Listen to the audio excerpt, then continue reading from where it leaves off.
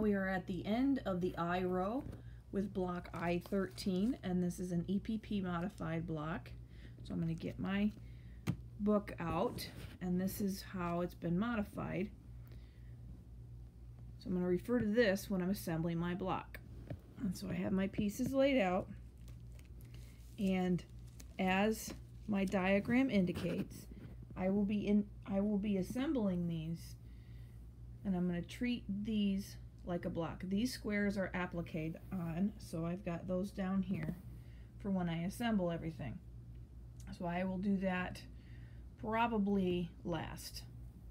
So I will put these three pieces together. This is a big triangle and this is the smaller size triangle. And put these four squares together and then join this row and this will be a tiny row this way and this will be a row and then I will assemble them just like other blocks. For basting I will most likely baste one, two, and then do this last so it goes away from the middle. I will baste the ends of these first and then do the long sides. And for these, I will most likely do this first and then the sides so that the tags go away from the middle. Squares, I do opposite sides and then opposite sides. So that'll get me started. So let me get going on one of these squares. And again, I will do these after I've done assembling the block. So I've got one of my squares completely assembled and it has the smaller triangle with this focus fabric stripe and the larger triangle and then the applique square will go here.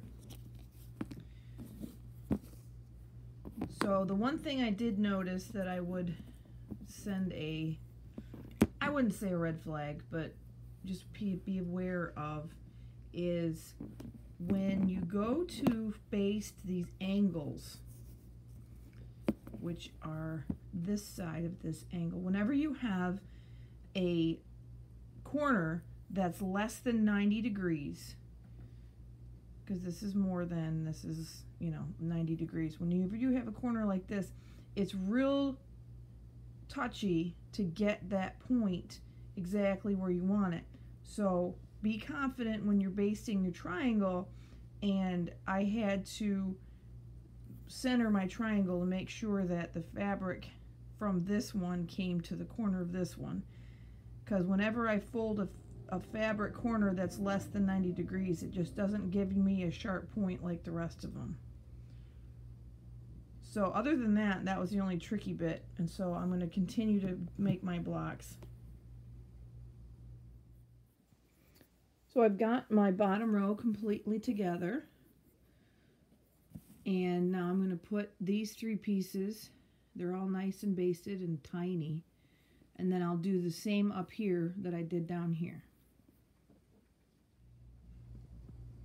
So I've got both of the bottom and the middle connected. And I've got my top row ready to go. And I just got to assemble these and then attach that to this.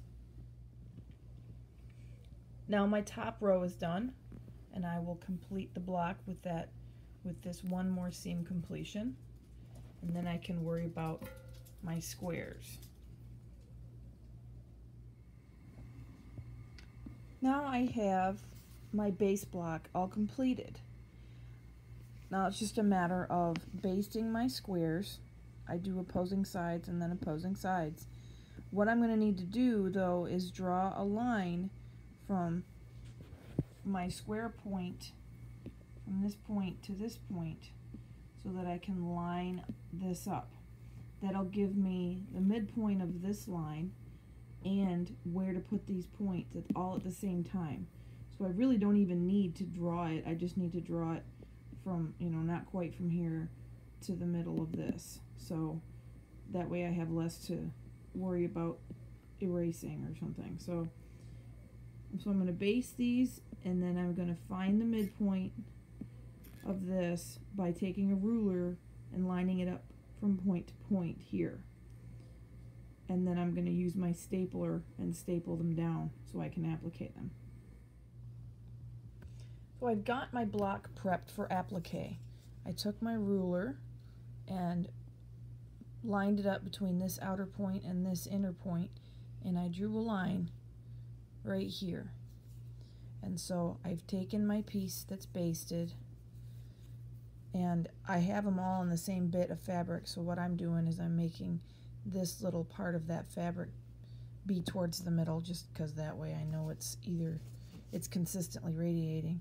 So then I'm going to line up this point on the line of this fabric and then the other one I'm going to put on the line up top here. And then I'm going to staple it and I've done that here and I've done that here. The shadow's throwing it off. And on this one I've already done the applique. So then I'm gonna just I took my staple out and then I'm gonna erase it. And the reason I use the staples is because it holds it in two points. So it can rotate a little bit but it's minimized. So I that just gives me an easy way to put it together and keep it together while I do my applique so I'll finish up my applique and then I'll be done now I've finished my applique on my block and I have a completed I-13 square.